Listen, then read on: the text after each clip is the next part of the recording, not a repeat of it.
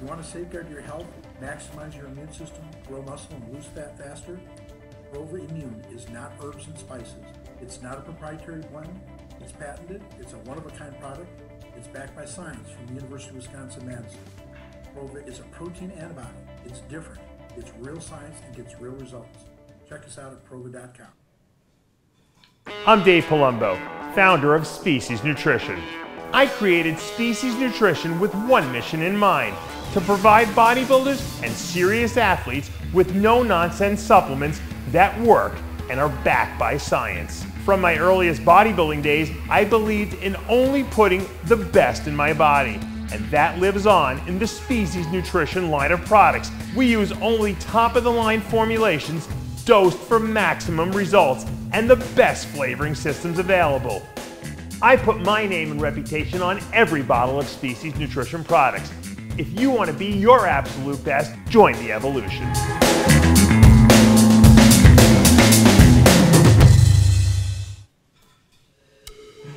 Uh, you're funny.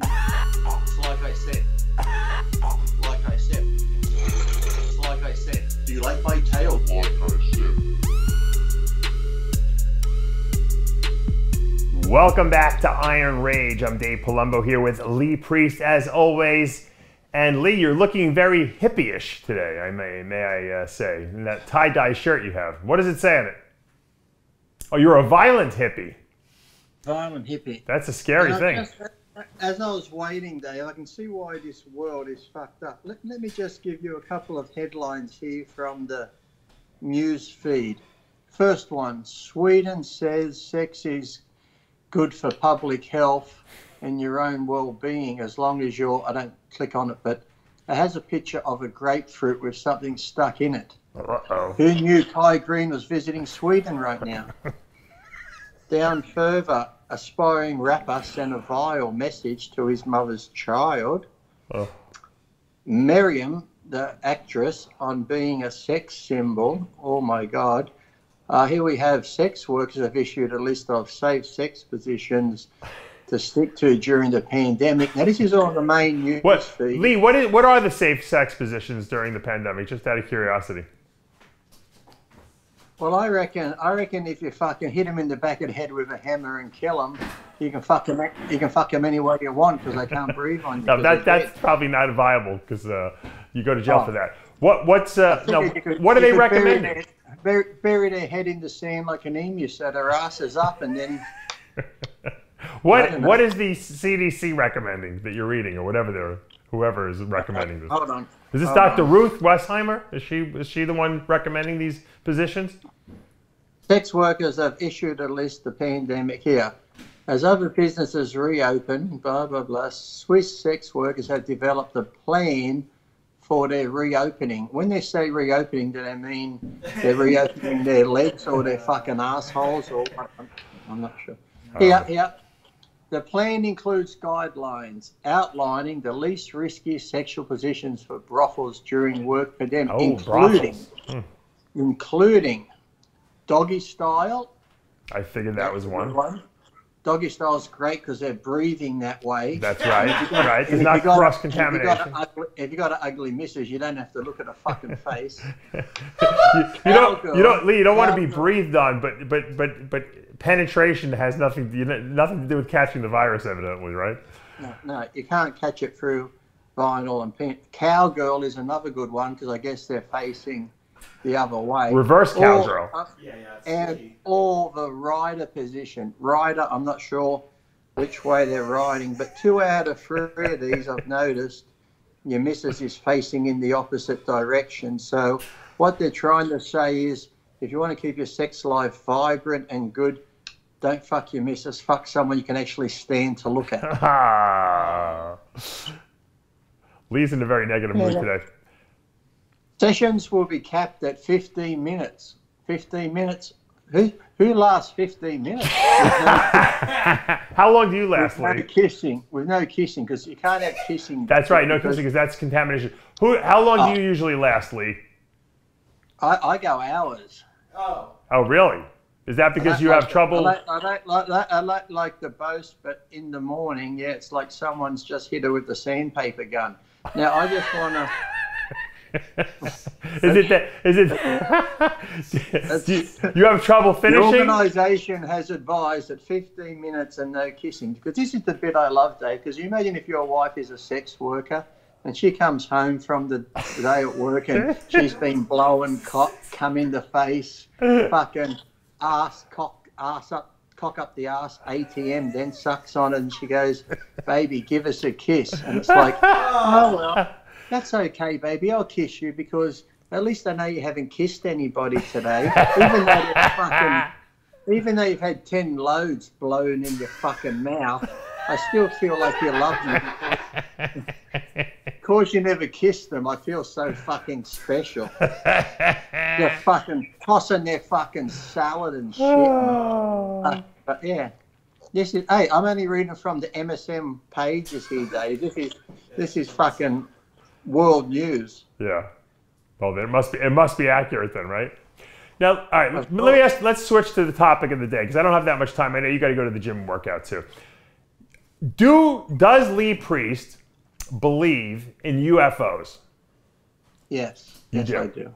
Do you believe that there are aliens, not like Mexicans um, or, or anything like that? I'm talking about aliens from outer space that have come to our planet and that are intermingling with us, and there have there been alien encounters? Do you believe that? I do because I've always, ever since I was young, I used to do projects at school on UFOs. I remember there used to be a TV show, Project Blue Book, like an early version. Yeah. But now I think on Netflix they've actually, excuse me, got the newer version called Project Blue Book, and it's actually based on the actual cases and this doctor Lenski or whatever it was that went around to try disprove them. A lot of them they couldn't disprove. So, yeah, because you know before in the old days they go, well, someone saw a light in the sky, they go nutcase this and that, but. You watch all these documentaries. I think Amazon Prime, if you have Amazon Prime, right. they got they got tons of these documentaries, and you have that Bob Lazar that said he worked at Area 51 and he saw the UFOs where they reverse engineer 'em. Now, Uh-huh. granted, some of the things we see probably are military experimental craft that we don't Right. know about. I remember when the big B2 wing bomber was up there and stuff. People saw these triangular lights, and you know we're going back into the 80s when they had the stealth bomber, but they didn't tell us we had it till like mid 2000s. right. Exactly. God knows, God knows what they have now. But you know, when you see the whole Roswell thing, and you have a town like Roswell, you know they got no reason to lie. They saw UFO craft, they saw it taken away, they saw bodies, and then the next day you got poor Jesse Marcel. It was a weather balloon. And like even his family said that he brought pieces home, you know, like that foil they could scramble up, and when they let it go, it flattened out, and these blue pieces of metal that had like writing on like hieroglyphics. Look, there's so many people, and when you talk to them, like top fighter pilots, fucking astronauts, you know, these aren't stupid people. If you have fucking Tom and John from down in Alabama going, yeah, you might think this guy's had a bit too much fucking moonshine and he's fucking seeing lights in the sky. You know, he's probably saw Swamp Thing as well coming out, raping his missus, having kids like the hills have eyes. But no, I think I think there are UFOs that look, look look at the universe. I, I've got this app on my TV called the Hubble Telescope, Right. and sometimes when I'm bored, I sit down and look at it, and it just shows you how far this telescope can see into outer space. And Right. you're talking about millions of light years, and then the amount of different other galaxies that you could go Sure. into, which is beyond them and black. To think that we're the only life force out there is just ridiculous. And if we are the only life form out there, we're fucked because we're fucking retarded. That's for sure. And that means that means all of us. Could Yeah. could you imagine if like this is it? If we us humans are the superior species, Yeah. and to me, I think the aliens come down like they might have who knows put us here as an experiment, and now when we see a ship fly by, they're probably just going through the galaxy. Oh, that's Earth. Let's swing on by. Let's have a laugh. Yeah. Oh, look at the fuckwits down there. fucking look at them. That was the biggest fucking mistake we ever made. fucking world, a fucking world full of fucking mongoloid cunts killing each other. Yeah, Let's you- go back and tell. Yeah.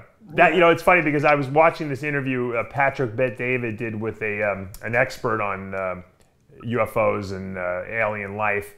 Uh, he's a, actually a medical doctor who now is devoting his life to this because he's had encounters before.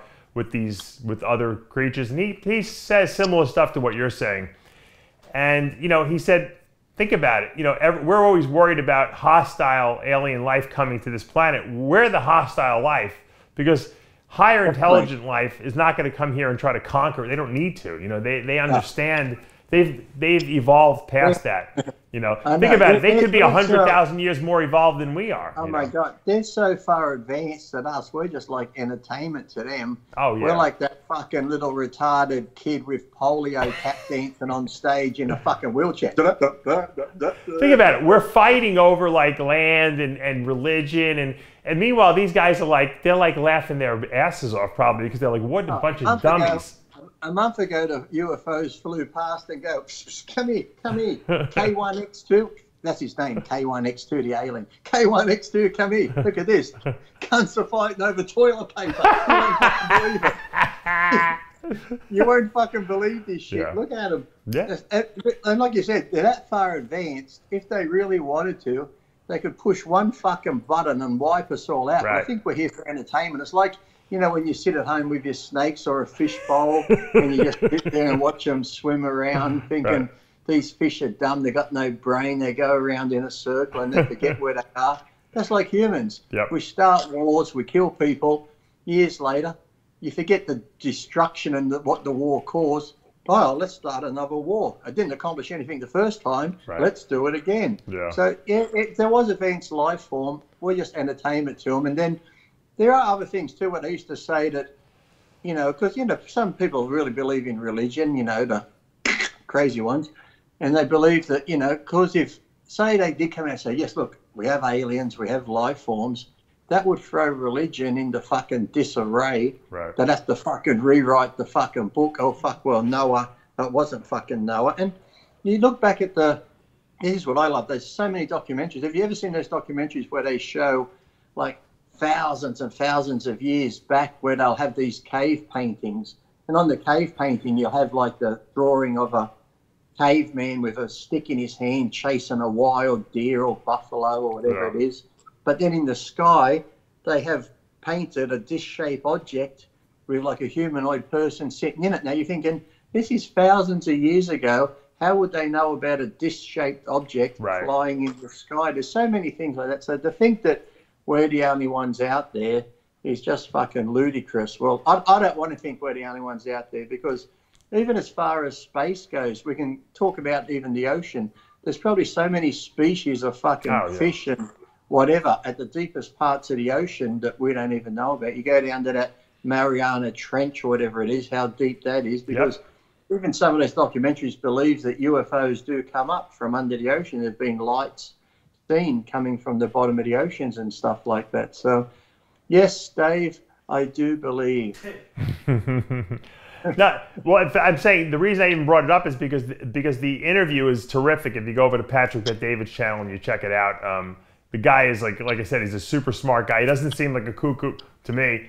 Uh, and and whatever he says it seems like it, it, it makes sense. You know, he was saying that you know uh, Patrick Bet David's like, well, how how in the hell can people come from these distant galaxies and travel millions and millions of light years that should take you know thousands of years to get here.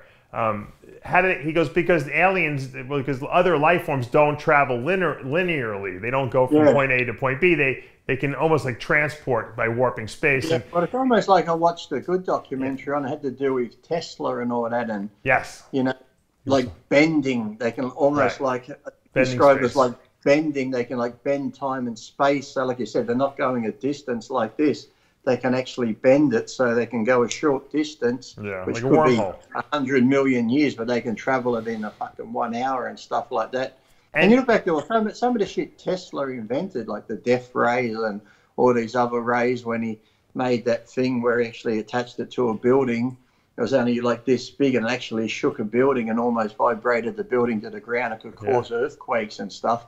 There's so much techno- technology that Tesla had that they're using now, and those sound guns that can just, you know, immobilize people just from sound Right. waves and bring Yeah. people down. So, yeah, then I was watching, there's a good one too. I forget what it was called, but it was on the whole they captured a space alien craft and how they've still been trying to reverse engineer it to try get it to fly and stuff like that. So you know, if you don't believe in it, that's fine. But to just think, as we said, the universe is, they keep saying it's expanding, like it just keeps expanding, expanding, expanding. So to think that, you know, we're this tiny, like, grain of sand in this whole big universe full of millions of galaxies, to think we're the only life in it, if we are, we're fucked. as simple as that. if we're meant to be the superior beings, we are fucked. Little fucking ET eating his M and M's has more fucking brains than us. That's what I say. Fucking Alien versus Predator should fucking come down and wipe it. That's the thing too. People go, well, but if we told the human people about it, they would go nuts. But you know, I've mentioned it before. All these movies that have come out from the dawn of time, I think they're slowly to condition us on about world happenings, bombs, contagions, fucking UFOs and shit. So when finally shit does happen, it's not such a shock. You're like, oh yeah, I saw a movie about that, you know. Sure. And the thing is, too, they try and make it like Independence Day. Yeah. They're all coming down, but they had that movie the day after tomorrow. Remember, it was a yeah. original one, and then Keanu Reeves made another one where, when you speak to a lot of these guys, and some of these, like I said, they always interviewed a fucking hick from the south, I saw a UFO, but yet there's so many top NASA scientists, top fighter pilots, top airline pilots who have all seen them. Astronauts have even seen them. It's like these people aren't fucking crazy. They're top of their field. And, and the ones who reckon they have come down, they've actually come down to warn us listen, stop what you're doing. The way you're going now with nuclear war and this and that, you're going to destroy yourself. We're here trying to warn you not to. And, you know, I think even some, which president was it? Was it Eisenhower or one of those presidents too, they even said they believed in UFOs and looked into it and did a study on it and believed that they still had them and stuff like that. So, right. yes, look, you've only got to look at some of the bodybuilding stages and the people online. that was my next question. I was going to say, are there any bodybuilders who might quite possibly be aliens? Do you think? Well, you know, if, if we're going back, you know, some look like they've got aliens in their stomach, like they're about to pop out. no, no, not that. I'm talking about people that might be legitimate aliens, you know, parading as bodybuilders. Well, since you brought it up, Dave, I guess this is the time for me to come out. I knew it. I knew it. That's where my line of questioning was going. You are an alien, aren't you? Nanu, Nanu, Nanu. Oh, by the way, I want to say I commend you on your shirt today, Dave. See, this is how I knew it because I'm an alien. Look, that matches my Ooh, nails. purple, purple. Wow. We're on. we're that? we're psychically uh, linked up. Maybe you are an alien. Think, get ready. I'm going to do this. Think of it. Don't tell me. Think of a number between one and ten. Think of a number between one. Don't say it. Think of it hard. Ready? Yeah. Seven. That's it. I swear to God. Swear on my mother's life. Great. Do it to me. See that? Do it to me. Do it. Tyler wants to think of one now. Okay, okay. I can't see Tyler, so it could be hard. Hold on. Think you might not be as psychically linked it. to Lee as me. Yeah. Show Dave the number with your fingers if you want, so Dave yeah. knows if you're being truthful. Okay. Four. Yes. Yes. Yes. Okay. I swear. Okay. I swear Tyler showed me four fingers. All right. Wow. All right, let's quit while you're ahead, Lee, because you got two for two. Now, see that? See that? Now the government's going to be after me. The secret's out. Lee Priest on, is an alien. Hold on, Dave. I'm getting another message from you. I'm getting another message. I got to write this down. That's the title of the show. I'm getting another message from you, Dave. You can you can suck it when the camera's ah, that, don't don't blow it. You you was two for two. Don't blow it. I'm gonna think of a person. See if you can tell me who I'm thinking about. A person? Yeah. Mr. G. No. Big Lenny. All right. We should have quit while we were ahead. no, but you know, a lot of people think, Lee, because they say, how could aliens do warp space and that's science fiction? Think about it. In 200 in 100 years, think about where we've come technology-wise. If you showed a cell mm-hmm. phone to someone 100 years ago, they think you were you were some kind of a magician or or you were an alien from another planet. So in a thousand years, what do you think the technology will be that we have on, on traveling to other planets? We can't we can't even we can't even work out how they built the fucking pyramids. So it's like you know. no, but you know what I'm saying. Technology is progressing so quickly that in a thousand Oh. years we'll be at these other galaxies. We'll push a button in a machine and oh. it'll transport us over there. I believe Well, I wouldn't be surprised if I already got it. You look back to that, there's a great documentary, they even made a movie about it where it's all documented. You can look it up. Mm-hmm. Remember when they did the Philadelphia experiment? Oh, I love that ship, movie. Yeah. Where that ship had that cloaking device where they, Wasn't that the final gray on it. countdown? Wasn't that the movie? The was it the final countdown? I think that one was called the Final Countdown Yeah. and one was called the Philadelphia experiment. And Yeah. the whole ship actually disappeared Yeah. into this haze of fog.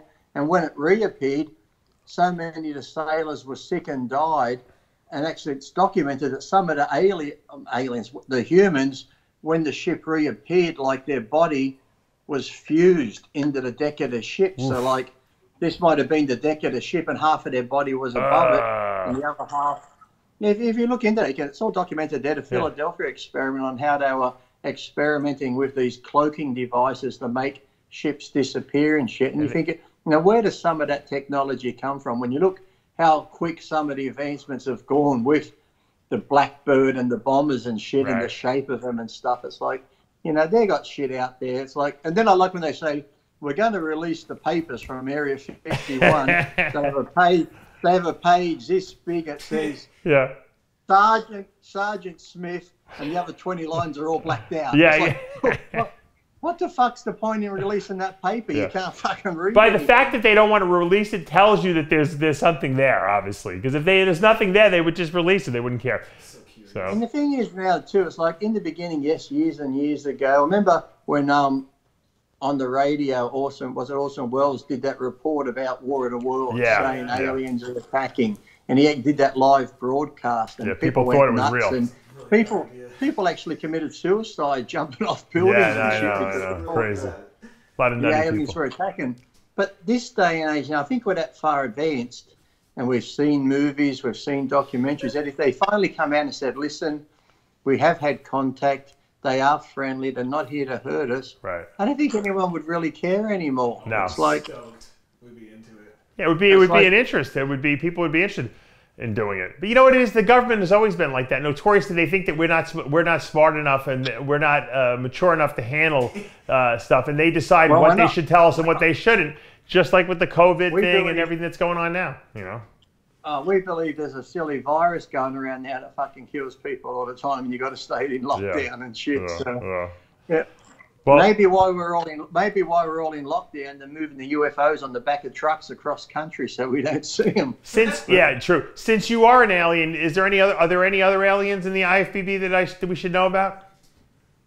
I don't know, but I did see a thing come up the other day. I forget what movie star it was. I'm sure you've seen these too, where it says such and such is an alien. If you look at their eyes, they've got lizard eyes. Their Yeah. eyes change. That's shape. called plastic sur- too much plastic surgery. Yeah, yeah. Nah, I don't, I don't, I don't, I don't think there's any aliens in the in the sport because when you look at the sport, look to me, aliens would be advanced. They would be smart. That's true. when you look at body, when you look at bodybuilding, everyone's a dumb cunt.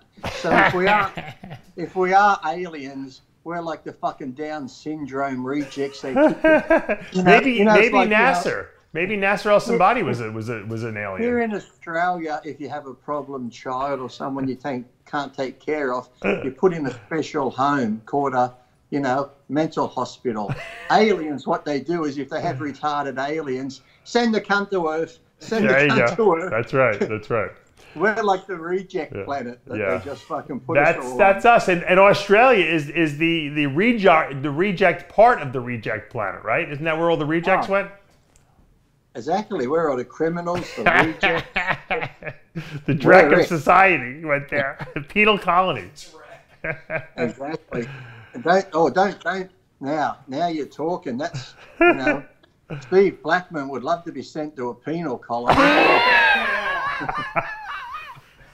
And on that Brian. note, maybe Blackman's an alien. That's a possibility. oh, he is. Hey, hey, mate. When, when it comes to Blackman and anal probing, oh, but that's that's none, none of my business. Oh, We, lo- we love you, Lee. Uh, what what would, what is your real true alien name? Do- Can you uh, fill us in on that? Kal-El. Kal-El. there you go. And Lee finally reveals his uh, secret identity. I'm Dave Palumbo for Tyler Shore for another edition of Iron Rage. See you next week.